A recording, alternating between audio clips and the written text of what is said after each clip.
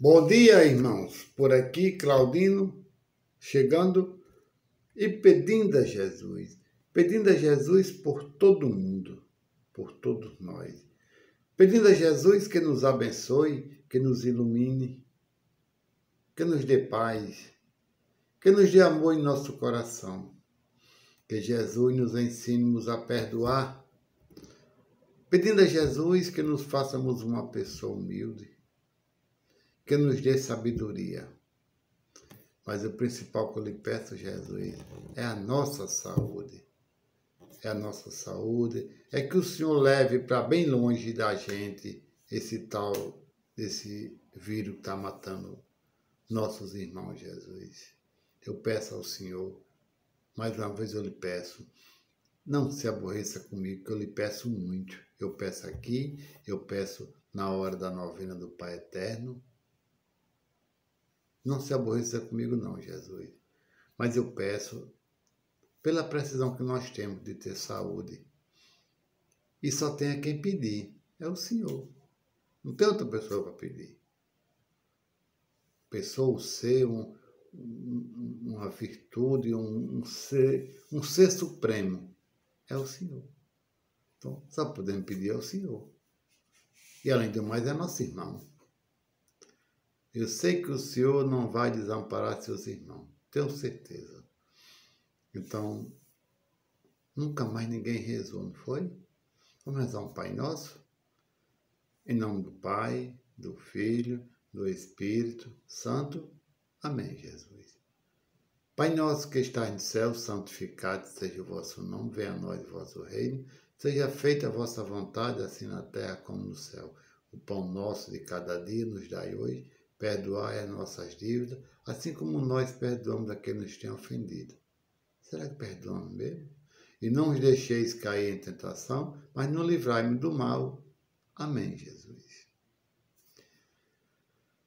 Obrigado, Jesus. O Senhor é bom para nós. Mas antes de lhe agradecer, eu quero lhe pedir, Jesus.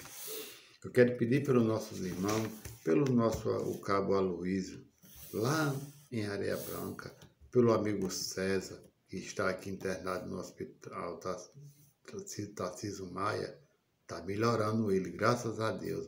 Por graça Claudino, por Dona Eulália vai fazer uma cirurgia, Maria Gabriela vai para São Paulo fazer uma cirurgia.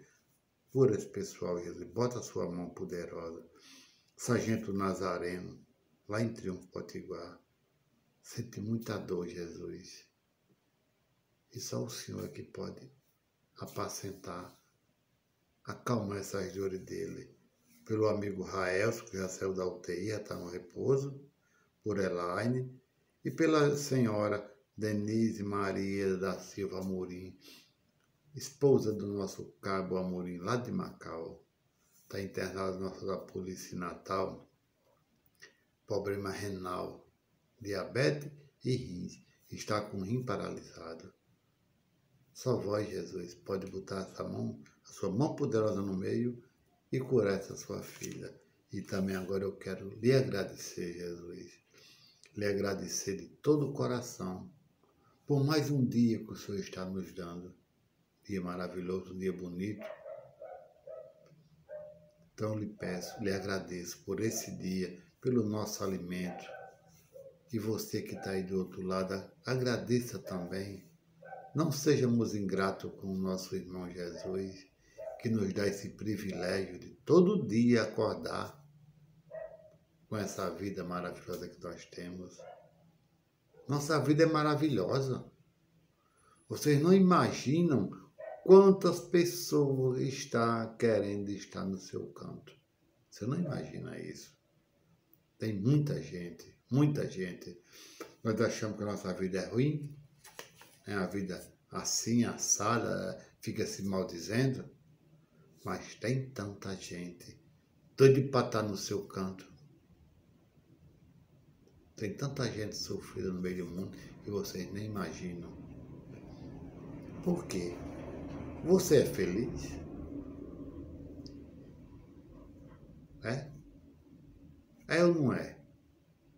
Não sou, não sou. Primeiramente, como está o seu coração? Seu coração está bom? Você está com seu coração limpo? Seu coração aberto? Você está amando seu irmão? Você está perdoando seu irmão? Você está ajudando a seus irmãos necessitados? Se você estiver assim, você é feliz. Mas se você tiver coração pesado, magoado, envenenado, com tanto problema que você bota dentro dele, tanto lixo que você vai jogando dentro dele, é você feliz? De jeito nenhum. Nenhum de nós podemos ser felizes com o nosso coração ferido, envenenado, magoado, sofrido. Nenhum de nós. Quem disser que é feliz nessa situação é mentiroso. Está dizendo para agradar alguém, mas que não é feliz.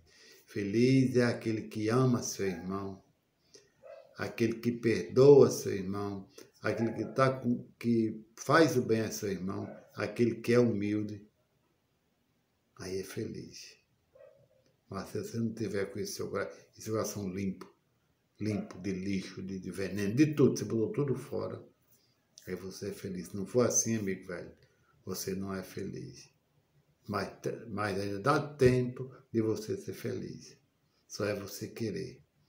Bota seu joelho no chão, clama a Jesus, pede a Jesus que lhe perdoe. Perdoe também você, todos aqueles que lhe fizeram alguma ingratidão perdoe você, eles.